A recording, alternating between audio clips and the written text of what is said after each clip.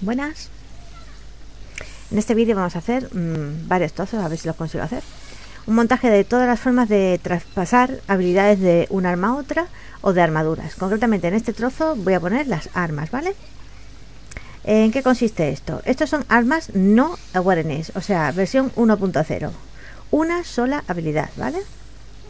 Cuando consiga completarlo, pondré el vídeo de cómo transformar armas con dos habilidades, meterles habilidades diferentes. Ahora mismo esta es concretamente arma con una habilidad, arma con una habilidad. Y va a ser robo de una habilidad y metérsela a la segunda, ¿vale? Lo primero que tenemos que hacer es averiguar dónde está esta máquina. Máquina de encantamiento de equipos.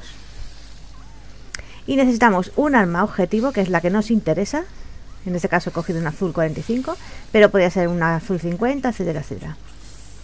Una legendaria, cualquier cosa. El secreto está en que el arma esté a cero, básicamente. Hablamos con la máquina y usamos Enchantment Succession. Las dos las coge porque las dos están a cero, como os dais cuenta. Metemos la primera casilla, el arma que deseamos que es la que nos interesa por el grado, por el daño, por lo que queramos. Pero tiene una habilidad que no nos interesa. El segundo casillero de aquí es un arma que vamos a destruir y extraer eh, la habilidad que tiene dentro. Yo concretamente quiero meterle esta. ¿Por qué no me deja meterla? ¿Veis que está apagado? Aquí pone exactamente que el equipo tiene que estar encantado a nivel 7 o superior.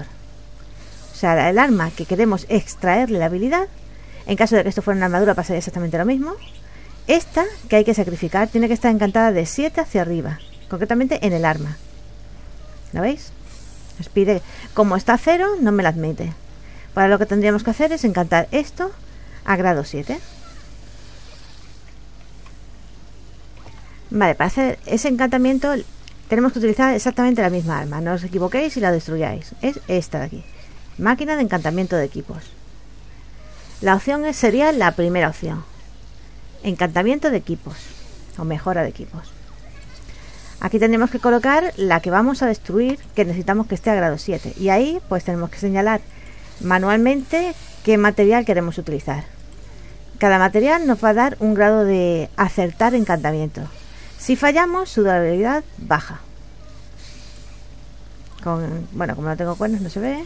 Y con esto todavía el 100%. Pues esto tendría que darle a Enchantment y subirla mínimo a nivel 7. Vale, como veis, después de dejarme la pasta, que me he bajado un montón en comprar materiales, he encantado a 7 esta arma, ¿vale? Volvemos a hablar con esta máquina. Sucesión de encantamientos. Como veis, al estar encantada no nos permite que sea el objetivo para robar otras. Con eso deja bien claro el asunto de que el arma que deseamos tiene que estar encantada a cero. Como les deis un solo encantamiento, olvidado de cambiarle la habilidad.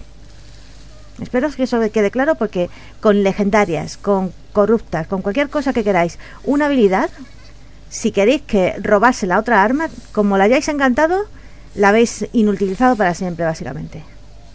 Así que nuestra arma objetivo esta, con una habilidad absurda, la pones en la primera casilla. El arma con una habilidad que necesitamos, la meteríamos en la segunda casilla. Después nos pide 49 cristales de encantamiento de Iliandes. En el caso de que tuviéramos botellitas, que ahora mismo no las tengo, la primera botellita, que es verde, nos va a servir para que el encantamiento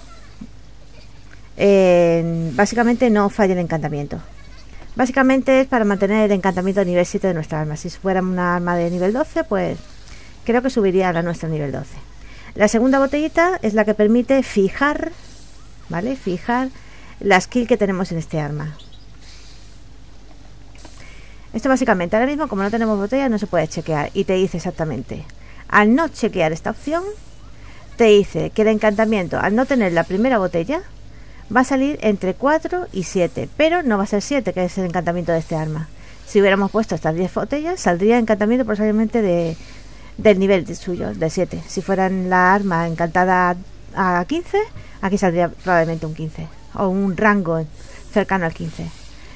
La segunda botella, no tenerla chequeada, nos dice que el emblema, que viene a ser la habilidad que tienen ambas armas, va a ser aleatoria entre la habilidad de la primera y la segunda.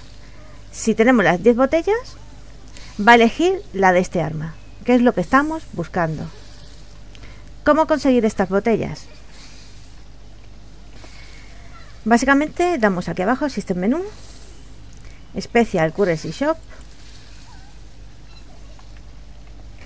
nos vamos a materiales por puntos de PVP y aquí están. Necesitamos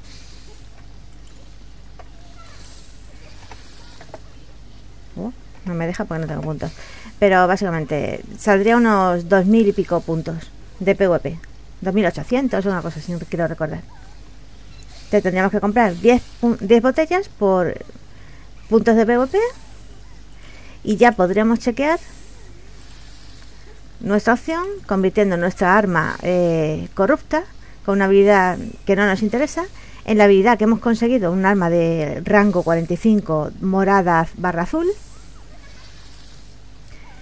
y con estas botellitas robaríamos la skill y se la meteríamos al arma final, sin que contara la skill que pueda tener este. O sea, la ignoraría, porque habríamos chequeado esta casilla, ¿vale? Le daríamos clic aquí. Ya mismo no tengo las botellitas, no puedo mostrarlo, pero se haría así, ¿vale?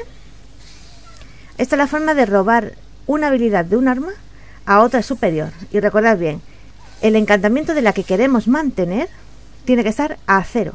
Como le hayas metido un solo en chan, olvidaros. La forma de verla esto, directamente. ¿Veis que no me deja meterla? Y al principio del vídeo estaban las 2 a 0 y podía meterla. Como le he metido un encantamiento, automáticamente esto ya se ha bloqueado para siempre. O sea que si queréis comprar legendarias o conseguir tal, no le metáis ni un solo encantamiento. Espero que haya quedado esto completa, total y absolutamente claro. Llantos para Papá Noel. esto no tiene arreglo ya. Y si consigo las botellitas, que ahora mismo habéis visto que no tengo punto PvP, pues puede que termine el vídeo. Ahí os dejo.